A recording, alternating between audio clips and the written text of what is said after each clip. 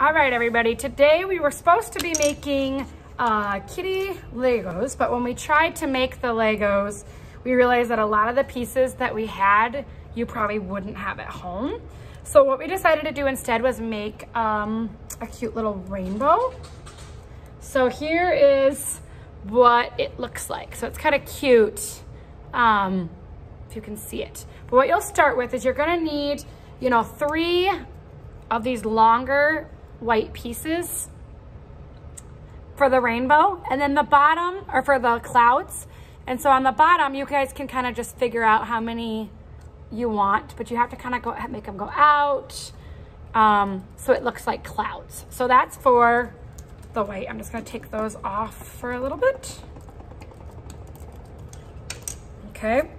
Then you're gonna have um, the purple. So you can kind of see you could do two different pieces or you can do a longer purple for this one.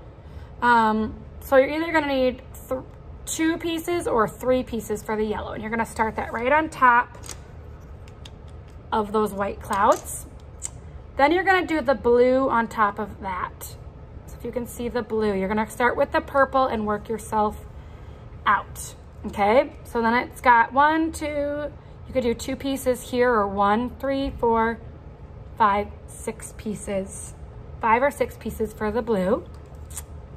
The green will go on top of that. And you'll need one, two, three, four, five, six, seven, eight, nine, ten of those. Or if you want to join that one together, you might need about nine of those. Okay, here's the yellow. You need about 14 or 15 for the yellow. If you can see, I use those smaller pieces, okay? And the top, you could do either two or one for that. Now the orange is when it gets a little bit trickier. Okay, you're gonna need um, about 18 pieces for that. And you're gonna do the same thing around, except for this time, you're gonna build it with those bigger pieces. So it looks like,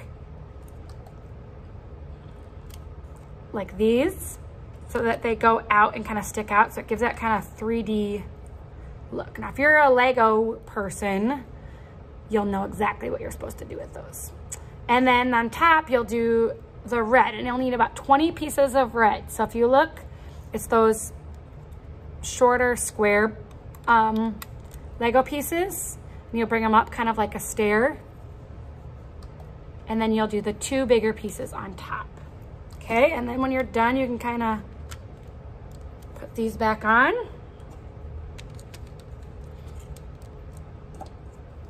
Just like that. And you have a rainbow with some clouds. So send us your pictures and see, yours might look a little bit different than ours, but you wanna make sure that they're these colors because that's what a rainbow would look like in this order. But send us your pictures, we'd love to see them. Okay.